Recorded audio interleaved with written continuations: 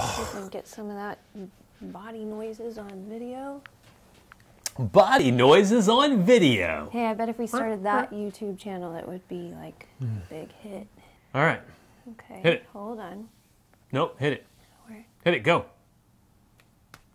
where does the Bible say? Love with Julie and MJ. Where does the Bible say sex before marriage is wrong?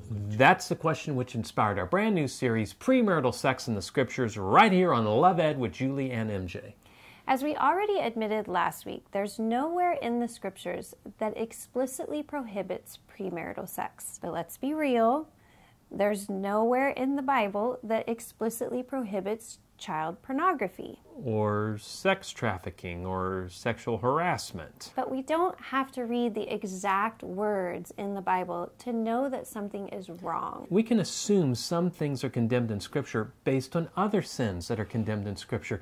But even still, we have to remember the Bible is not primarily about do's and don'ts. It's about a relationship between God and His people and our relationships with each other. In other words, those do's and don'ts are meant to lead us into life giving relationships with God and others. Yeah, likewise, sex. Newsflash was never meant to be about do's and don'ts. It was meant to be about relationship, a very particular relationship called marriage. And once you grasp the biblical meaning, purpose, and significance of sexual intimacy inside of marriage, then things like sex trafficking or child pornography clearly appear as gross violations of that picture. And so is premarital sex. This is why Hebrews 13:4 says, "Let marriage be held in honor among all, and let the marriage bed be undefiled, for God will judge the sexually immoral and the adulterous."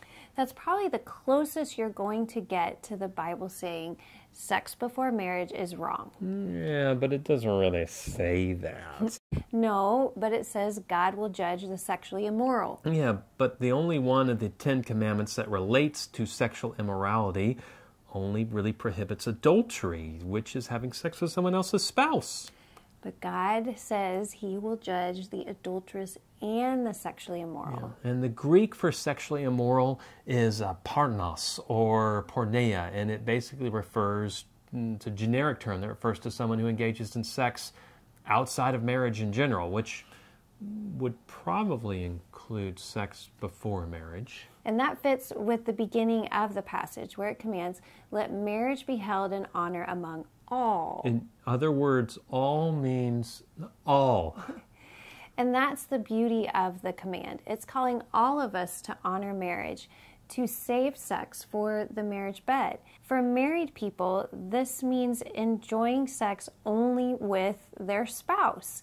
For unmarried people, this means waiting until marriage. And in honoring marriage, God is not trying to limit our enjoyment of the gift of sex, He's trying to protect it. There's a difference. On a cultural level, the devastation caused by married people failing to keep the marriage bed pure is obvious. Broken vows, broken homes, broken marriages. Yeah, but it's harder to see the problem with premarital sex because, other than an unplanned pregnancy, the consequences are not as immediate nor as direct. That was certainly true for us. But, dude, yes, and Julie and I were virgins on our wedding day, but we were not sexually pure. We're glad we held on to our virginity, but the fact is, all the making out and messing around we did when we were dating came back to haunt our marriage. Seven, ten years into our marriage. It, it created relational patterns and established sexual expectations um, that cause frustration and disappointment not only in our sex life, but in multiple facets of our relationship.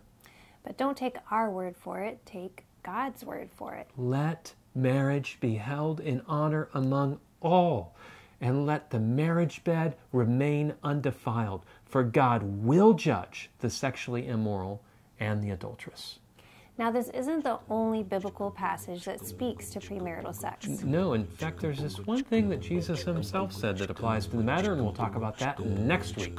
Join us then as we continue our current series, Premarital Sex in the Scriptures, on Love Ed with Julie and MJ. Love Ed with Julie and MJ.